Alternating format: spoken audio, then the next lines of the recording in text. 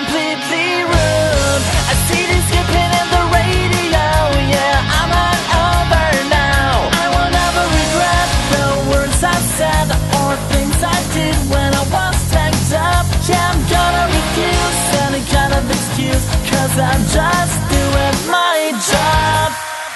I'm